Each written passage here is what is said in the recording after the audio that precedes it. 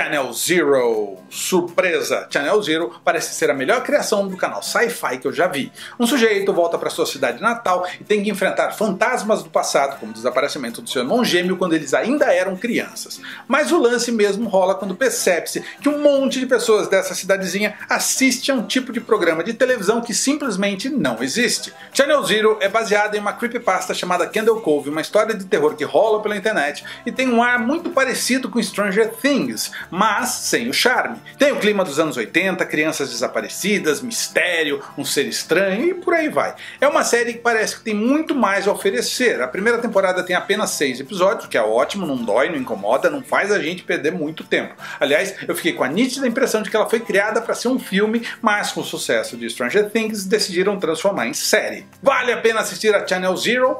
Vale dar uma olhada. Kim's Convenience, a melhor sitcom dos últimos tempos. Uma família coreana é dona de uma lojinha de conveniências, o pai é um velho teimoso, rabugento e divertido, a mãe é aquela que precisa consertar as coisas, a filha é moderninha, mas sofre com o pai, e o filho saiu de casa ainda adolescente por conta de um conflito com o pai. Sim, o pai é o centro das atenções e é um dos personagens mais carismáticos dos últimos tempos. De vez em quando surgem algumas sitcoms com uma minoria específica, tem até outra série com coreanos, mas nenhuma que realmente fuja daquele padrão de família americana básica. Mudam as etnias, continuam as mesmas piadas. Não aqui. Que Inconvenience é uma série canadense que foge desse padrão e de longe é a mais inteligente, com boas piadas, lições de moral simples que me fez rir gostoso em algumas situações. E isso eu tenho que agradecer muito. Vale a pena assistir a King's Convenience, é uma das poucas séries que eu decidi continuar a acompanhar. Logo, vale, vale muito. Zaypad. Um cara pede um carregador de celular pelo correio, aí vem a entrega e a entrega vem errada. E chega uma pulseira. Ele veste a pulseira e vai parar no universo mágico tipo o Senhor dos Anéis dos Pobres, cheio de magos, fadas, bruxas, guerreiros e pessoas malucas. Lá ele descobre que está preso nesse mundo e que dificilmente vai conseguir escapar. Zaypad é uma comédia arriscada sobre um cara fora do seu ambiente, cheio de comédias nonsense e humor nerd, e tem até uma piada com o Donald Trump. Vale a pena assistir a Zaypad? Assista por sua conta e risco e entre nós pode até ser que você goste. Falling Water é meio difícil definir sobre o que é essa ficção científica do canal USA. Tem a ver com a leitura de sonhos misturado com alguns mistérios. Muita coisa acontece. É a namorada de um que desapareceu, o filho de outra que ela nem mesmo sabe se existe, outro que procura a cura pra mãe, e um monte de pistas que deixam tudo parecer que é um sonho coletivo. Lembra muito Sense8, mas sem o lado hipster e nem a putaria que a gente vê lá na Netflix. Prende atenção, parece interessante, mas tem aquele roteirinho meia boca, com personagens óbvios, como o cara cara que criou a máquina fantástica, que sabe todos os segredos, e tem vários buracos que eu imagino que serão preenchidos nos próximos episódios. Eu fiquei com a impressão de que Fallen Water tem muito a oferecer, mas falta carisma para a série como um todo. Vale a pena assistir a Fallen Water? Se você encarar a série sem esperar muito, eu acho que vale. Golaia, uma série de advogado que eu achei que seria mais do mesmo, mas que me deu uma voadora na cara que eu não estava esperando, tanto que eu assisti a primeira temporada inteira. Billy Bob Thornton faz o papel de Billy McBride, um advogado motherfucker fodão que acabou com a própria carreira de tanto encher a cara, perdeu mulher, trabalho, e aí ele é procurado por uma advogada meia boca para resolver um caso muito estranho. Eis que a empresa do outro lado tem como advogados de defesa o escritório que McBride ajudou a criar, onde a sua ex-mulher trabalha, com um chefe estranho, obscuro que vive nas sombras e parece inescrupuloso. Quando eu notei o microcosmo, aquele lance que todo mundo está conectado com todo mundo, que todo mundo vive num mundinho ridiculamente pequeno, eu desanimei. Mas tava lá, ia ser apenas um episódio, e de repente, pumba, eu tomei uma na testa logo no episódio piloto. Aí eu fiquei curioso para ver o segundo episódio, e no final eu tomei uma voadora com os quatro pés na cara. A série conseguiu me pegar. Eu assisti aos oito episódios e eu gostei bastante da maioria dos personagens. Eu confesso que a série pede o ritmo lá pela metade, segue um caminho meio óbvio demais e deixa de surpreender. Ainda assim, deve ser vista. É a Amazon mostrando que não tá de brincadeira em termos de séries e que a FX, Netflix e HBO agora tem um concorrente de peso, melhor para nós consumidores. Vale a pena assistir a Golaia? Vale dar uma olhada sim. Graves. Americano adora presidentes e ex-presidentes. Aqui é um ex-presidente que se parece muito com George Bush e que tem uma crise de consciência ao descobrir que ele é considerado pela internet como o pior presidente de todos os tempos ele passa a querer consertar tudo. No meio do caminho, a sua esposa, uma ex-primeira-dama fodona, é convidada para concorrer ao Senado, mas o comportamento do marido agora pode estragar tudo. É uma daquelas bobagens em que uma pessoa que foi má a vida toda tem uma luz e decide começar a fazer tudo direito para se redimir. E desta vez é um ex-presidente americano para variar. O Nick Nolte é um ótimo ator, carismático, eu gosto dele, mas a série não me empolgou muito não. Vale a pena assistir a Graves? Na falta de coisa melhor para fazer? Talvez.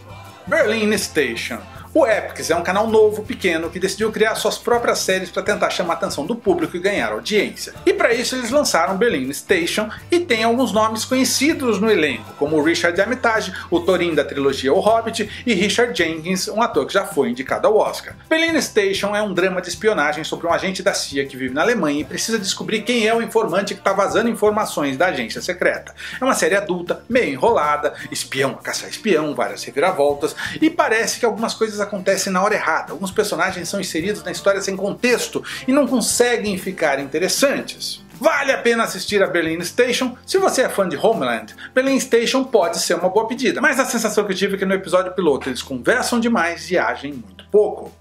Tutankhamon uma minissérie que conta a famosa história da descoberta do túmulo de Tutankhamon em 1922. Howard Carter é um arqueólogo meio rebelde que vive solto no Egito, enche a cara, e aí ele consegue ser patrocinado por Lord Carnarvon e juntos passam a explorar o Vale dos Reis. Obviamente, no meio do caminho, eles têm problemas, como a Primeira Guerra Mundial, por exemplo. É uma minissérie simpática, tem um ritmo muito bom, mas não tem nada muito interessante, mas não é chata. Eu fiquei curioso em assistir a mais episódios, eu tô acompanhando, já assisti dois. Será que Carter vai descobrir o túmulo de Tutankhamon, uma das maiores maravilhas da arqueologia de todos os tempos? Sim, vai, é claro, a gente já sabe o final. Mas pelo menos aqui a história parece muito bem contada e cheia de romance e aventura. A curiosidade fica por conta do ator que faz Howard Carter, o personagem principal. Ele é Max Irons, filho do Jeremy Irons, o atual Alfred do Batman no cinema. Vale a pena assistir a Tutankhamon?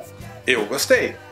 Eyewitness. Dois garotos testemunham um triplo assassinato, mas não podem contar para ninguém, senão vão descobrir que eles são gays. Eyewitness é a versão de uma série norueguesa de 2014 e o mercado escandinavo tem entregado vários bons produtos nos últimos anos, então é natural que a televisão americana vá buscar ideias por lá. A versão americana se passa em Nova York, não na cidade, mas no estado, e é uma espécie de drama policial rural. Uma policial da cidade grande se muda para o interior para viver uma vida tranquila com o marido e o enteado, e claro que a cidade cidadezinha não fica tranquila por muito tempo e a nossa heroína tem que resolver o tal crime. O lance do micro-universo que tanto me incomoda tá aqui. Obviamente, o seu enteado é um dos garotos que testemunha o crime.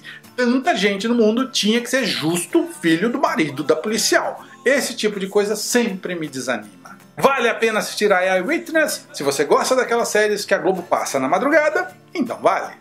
Travelers. O mês de outubro foi o mês da viagem no tempo, então lá vamos nós com mais um drama de ficção científica com o tema Viagem no Tempo. Daqui a centenas de anos, no futuro, os humanos sobreviventes descobrem como transmitir as suas consciências através do tempo para as pessoas do século XXI. Assim, os viajantes do tempo assumem as vidas dos outros enquanto tentam salvar a humanidade de um futuro terrível. De todas as séries sobre viagem no tempo deste mês, essa foi a que me pareceu ser a melhor desenvolvida. Vale a pena assistir a Travelers? É, eu acho que vale. Parece que o rumo que a história vai tomar é legal. Him. Adolescente é uma merda, vive de fone de ouvido, bate portas, grita com os pais. Agora imagine isso tudo sendo um adolescente de 17 anos com poderes sobrenaturais herdados do seu avô. O interessante nessa minissérie é justamente a maneira que eles trabalham o fato dele ser adolescente, a angústia natural da idade, ele não suportar os pais que para ele são irritantes, a puberdade que chega, as notas na escola e vários sentimentos que ele não consegue controlar. Aqui temos um problema, o roteiro não é ruim, mas os personagens são vazios demais para causar algum interesse no público. Falta carisma. Talvez seja essa mesma ideia, mas isso não fez me interessar mais pela história, pelo contrário, eu meio que me esqueci completamente após ter assistido ao piloto. Vale a pena assistir a Him? Se você gosta de séries de terror, vale. Crazy Head. É uma daquelas séries que a gente tem que entender qual o público-alvo. É uma série para meninas que lutam contra demônios. A doideira aqui tá na maneira que as coisas acontecem. A primeira cena mostra duas garotas prendendo uma terceira enquanto vestem máscaras de palhaços assassinos. Aí elas começam a conjurar uma magia e uma delas tem que mijar sobre a que tá presa. É, a série Crazy Head é maluca nesse nível. A personagem principal é uma garota basicamente normal que passa a ver demônios. Ok, não é a ideia mais original de todos os tempos, mas a falta de limites do roteiro deixou tudo muito mais divertido. Vale a pena assistir a Crazy Head? Dê uma olhada, eu acho que Crazy Head pode encontrar o seu público e pode crescer. E melhor ainda, tem pedigree. Ela foi escrita por Howard Overman, o cara que criou a ótima série Misfits.